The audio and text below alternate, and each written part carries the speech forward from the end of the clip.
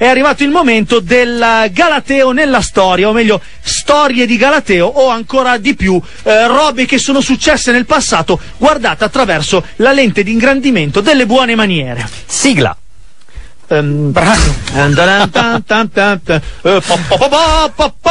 Perché oggi si parla di cose un po' epiche, eh? Pa pa pa ma quella è Indiana Eh, Jones. Indiana Jones, eh, vabbè, eh, sembra questa. Di Però lei non è degno di interpretare neanche l'alligatore. Cioè, in effetti io come Harrison Ford probabilmente non sono del tutto credibile, anche perché credo sia alto 1,95 m. È molto alto Harrison È Ford. vero? Harrison Ford. Vabbè, eh, cosa facciamo? Eh, iniziamo subito con... No, no, no, no. Prima io farei un'anticipazione, poi ingolosiamo il pubblico, canzone, bla bla bla, eccetera. Sì, una segnalazione di traffico. Sì. C'è un camion che brucia sulla ovest, tangenziale Urca. ovest, direzione sud prima di Cusago. Quindi probabile Che poi lì, rallentamento. ci sarà un grosso. Se siete sulla tangenziale ovest prima di Cusago uscite. Allora, Lapo, eh, oggi di che cosa si parla in questa premiata ormai irrinunciabile rubrica? Ma oggi le segrete di Via Olearo hanno prodotto in una riunione di redazione ormai storica, che passerà alla storia dai, eh, dalle decrittazioni ovviamente di Radio Popolare, eh, un'idea notevole, cioè quella di una comparazione, cioè di uno studio comparato tra alcuni eh, accadimenti storici, eh, fra cui gli Orazzi e i Curiazzi, attenzione, la disfida di Barletta, tanta roba, e l'incidente di, o la crisi cosiddetta di Fascioda, meno nota delle prime due, ma eh, perciò stesso assai raffinata come idea, no? Per cui sappiamo tutti, ci ricordiamo mediamente degli Oriaz- eh, Orazzi e dei Curiazzi, no? Ci ricordiamo ovviamente della disfida di Barletta. Allora diciamo subito invece del- della, della crisi di Fascioda, che fu una cosa, un piccolo scontro io lo coloniale. interromperei un Piccolo attimo. scontro coloniale. Tra e poi mandiamo la Tra? canzone. Tra chi sarà? Tra chi sarà? Lo scoprirete dopo i Camelopard. Ah già che questa qua è quella canzone con poi tipo la risacca. Senti la risacca? Ah, pens- no, pensavo che fosse l'effetto diuretico per aiutare tutti i nostri ascoltatori un po' Ah, anziani. però anche quei, oppure anche i giovani che... eh, Che la tengono Eh. e quindi saltellano sul posto. Eh, più o meno, più o meno quella roba lì e andate tutti e, Ma mm, cos'è? e, e che sia, e che vi auguro che sia giallo paglierino. Paglierino! Evviva! Eh. Eh, scusa Lapo. Scusa, Lapo. No, Sì. dicevo, meno male che siamo in area Galateo, Eh, sì, parlare di certo. minzioni. Eh, so. siamo stati in area Galateo, spiegavo come capire se uno ha il diabete o no. Ecco, perfetto. Dicevamo, allora, questi tre episodi che possono essere considerati come caratteristici eh, di mm, una- la storia scritta dal Galateo, cioè quasi inconsapevolmente, soprattutto negli episodi più antiqui, perché eh, non era stato ancora definito un codice delle buone maniere come lo intendiamo oggi, ma stavi partendo dal più recente. Stavo partendo dal più recente, in realtà salta becco per collegarmi alla tua giusta indicazione sul Galateo, perché in realtà partendo proprio dagli Orazzi e i Curiazzi, sappiamo che gli Orazzi e i Curiazzi furono uno scontro, no? In cui dei, dei campioni dovettero battersi tra di loro. In realtà la storia andò molto diversamente, perché loro, la, la storia ce la racconta la tradizione una cosa di Galateo, cioè una cosa cavalleresca. In realtà, se non mi ricordo male, il re di Alba Longa nella realtà fu squartato, per cui alla faccia del Galateo, per cui ogni tanto in effetti si sa. Invece nell'incidente di Fascioda, che appunto è una cosa un pochettino più chic, ci fu questo... No, è più chic perché c'è SH e lo puoi dire No, no, come lo perché- diceva già l'avvocato. No, perché naturalmente la latinità è sempre la cosa più chic del mondo, ma lo squartamento del re di Alba Longa e sue- i suoi visceri eh, così sparpagliati sul selciato, per quanto romano e fatto di San Pietrini, Sì. io la vedo meno bene. Mentre invece nello stesso tempo qui si tratta di europei un pochettino più bien élevés.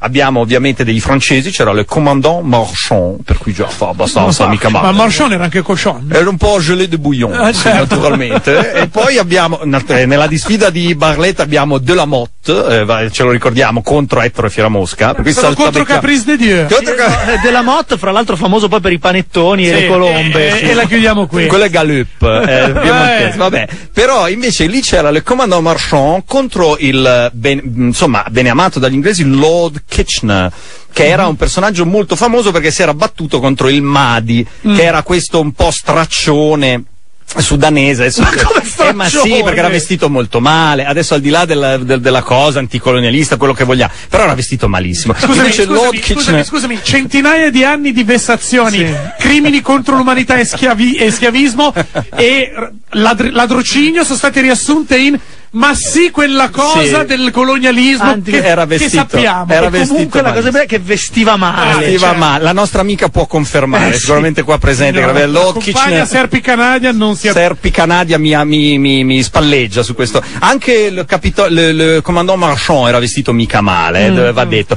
Cosa succede? Loro si incontrano praticamente, diciamo solo un minimo cappello. Gli inglesi avevano questa teoria di collegare ovviamente il Cairo con Città del Capo, Mm. no? C'era il famoso Cecil Rhodes, che era, non è quello dei Duran Duran, No, che era un altro è, Rhodes esatto, probabilmente, altro, sì. che aveva collegato appunto il nord col sud. Invece i francesi volevano collegare Youssou N'Dour con un altro rapper di Djibouti che non so, cioè praticamente la costa del Senegal con quella dell'Oceano Indiano, no? Per cui del Corno d'Africa, dove invece c'erano, c'erano gli italiani che gli rompevano le scatole. Per cui a un certo punto cosa fanno? Si incrociano a metà e si vedono Lord Kitchener con questo co- comandant Marchand Ovviamente Lord Kitchener era più ricco e nobile, per cui se la tirava un pochettino, probabilmente aveva il cavallo anche leggermente più alto. Si incontrano e invece di spararsi addosso decidono di fare quello che poi in francese si chiamerà entente cordiale, Ah, ovvero intesa cordiale. Scicchissimo Gent- questo. Gentleman Agreement. Del gentleman agreement è tecnicamente una cosa un po' diversa, cioè Attenzione, un questo- accordo. Scusa un attimo, scusa, fermati un secondo. Questa è una finezza. Finezza. È una chicca. Sì.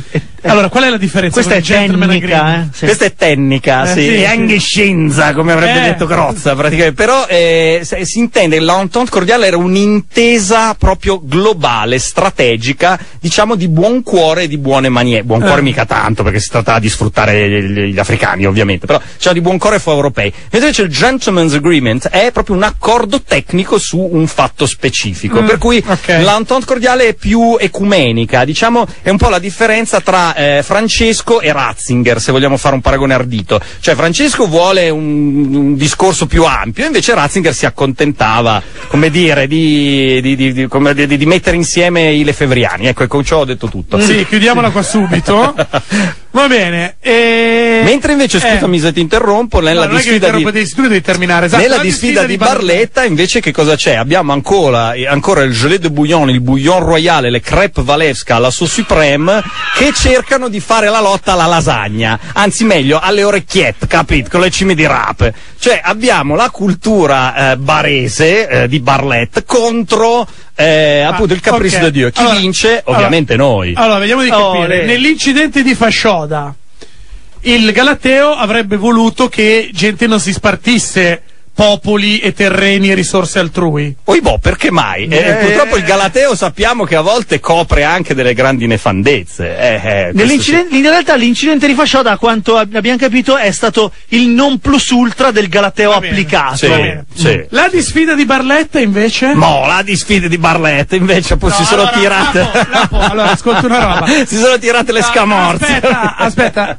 Sembri Cassano nella sua peggiore interpretazione insieme ai Galeazzi. Allora, diamo un voto di congruità galatea Ecco. alla disfida di Barletta, da 1 a È 10. molto basso in realtà perché pochi si ricordano che la disfida di Barletta fu vinta dagli italiani un po' con l'inganno. Pare che addirittura appunto eh, Fieramosca, Prospero Colonna e tutti i nostri eroi che poi sono diventati eroi nazionali avessero Ah, vinto pensavo la che dis- poi sono diventate vie. che poi sono, Sì, beh, eh. anche, anche peraltro, sono diventate vie perché hanno vinto tramite una serie di trucchi un po' all'italienne, cioè praticamente le Hanno aste. fatto catenaccio? Eh, hanno fatto, cate- esatto, hanno fatto catenaccio, hanno fatto tutta una serie di porcherie, fra cui per esempio avevano messo gli spuntoni in mezzo all'erba, E- oppure li avevano fatti avanzare e poi li avevano disarcionati in maniera poco Tecniche corretta. di guerra. Ah, Eh sì. a lance non omologate Non dalla omolo- motorizzazione. dalla motorizzazione civile di Eh. via, com'è che si chiama? Cilea, Cilea, Cile, via Cile. Cilea. Si vede che non è mai uscito oltre la barriera de, de- Fu in via Capecelatro. Fu in via Capecelatro. Fu in via Capecelatro. Sì, già, si vede che non è mai uscito dai- dalla linea dei bastioni. Ultimo, Sì, c'è. e invece voto di congruità galatea per Orazio Curiazzi.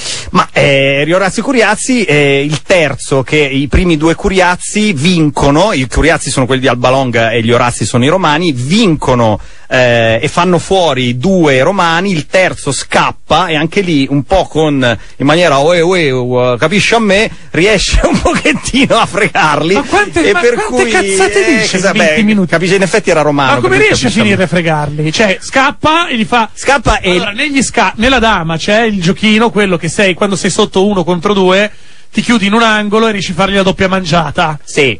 Lui, sc- no, lui scappa, li sderena da soli, gli altri che lo inseguono, ma la cosa più bella Eh. è che è veramente poco, poco elegante, forse possiamo adesso qualche ascoltatore romano ci dirà che siamo dei razzisti milanesi, ma Sei, Sei, una co- ci vabbè, io dissociamo Noi, completamente. fin dall'inizio Uso te e magari quell'altra a fianco che è annichilita dalle tue cazzate. Sì, sì, infatti. è, è noto che io uso il plurale maiestà. Naturalmente. Certo, Per cui, se non eh. la terza persona. Allora, terza sentiamo persona. quello per cui ci inimichiamo agli, amici Gli romani. amici romani, che è la cosa veramente cafona, che siccome la sorella dell'Orazio, cioè del romano sopravvissuto, era promessa a uno dei curiazzi, ovviamente siccome il fratello gliela accoppa, lei si risente, si incazza leggermente e lui per far star zitte le giuste rimostranze della sorella la accoppa.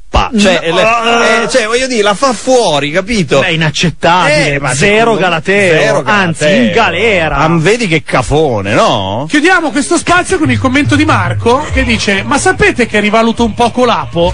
Ma solo un poco, eh.